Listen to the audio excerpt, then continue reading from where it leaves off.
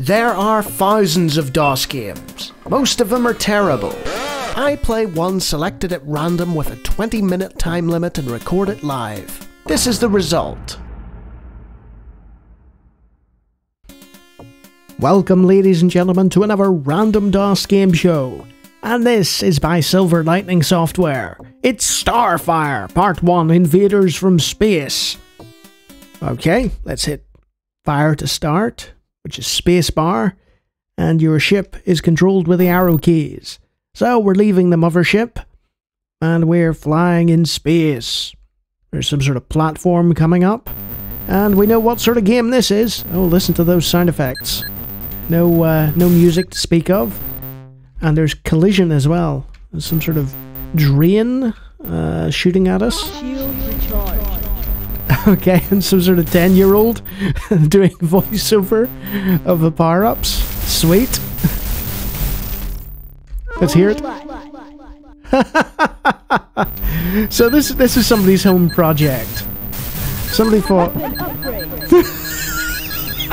Yes! Our weapons are upgraded. But you'll see there are certain platforms that you can't uh, go past. So uh, you have to like let's weapon upgrade. Fantastic. yeah, you have to avoid them. Oh, got uh, killed by a cannon there. The controls aren't great. And uh, there's no music. Sounds limited. Very limited. And uh, enemies are a bit spongy, but okay for a starting level. But you can. I just love that voiceover. Ah, glorious. Can can we kill those things? I don't think we can. I think they're just gonna shoot homing missiles at us. And I think we've got some sort of power up here that'll help us. Bonus life! Excellent, that means I can continue playing this. Oh, oh, oh. Need to pick that up. Yes. Okay. Tyrian, this is not. It's not even Starcom. Remember Starcom? Oh. So there's momentum involved.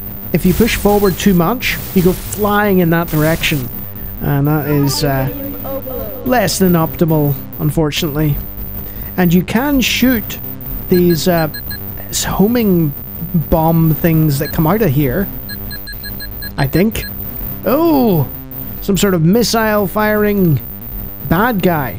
So we'll have to deal with him. Not sure we can. Yes. There we go. First level complete. And we've destroyed the platform. Hey, we get some bonuses. Sweet.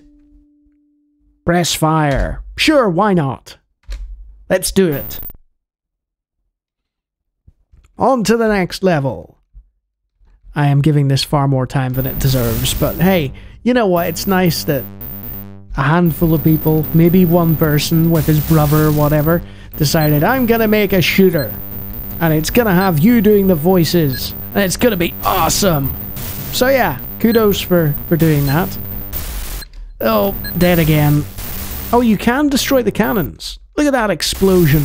Oh, but apparently, if you run into them, you're dead. A short while later, the Earth explodes!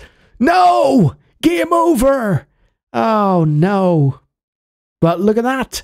I have managed to score a higher score than the creator of the game. That's very generous of you. Lawnie number one when it comes to scrolling shooters.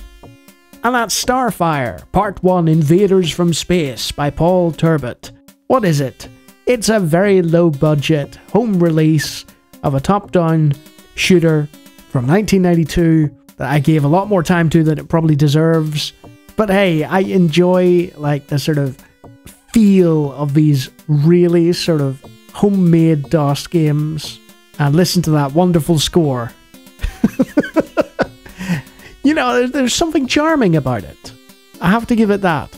I didn't really enjoy the momentum controls, and I thought it was a bit difficult to begin with. But, you know, its heart's in the right place. And that's got to count for something. This music, though, man, tremendous. and if you like me playing homemade DOS games that have been created by maybe one person.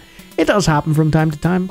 You'd be amazed at the amount of crazy, wonderful games I come across. Feel free to take a look at the hundreds of other videos, and if you like what you see there, you can always subscribe. And if you have somehow made it through this week of terrible games, then you might be one of my illustrious patrons who are very patient with me. Any moment now, some good content will be coming, folks. Any moment. So, yeah, that was Starfire. A top down shooter that certainly was a thing that existed. Until next time.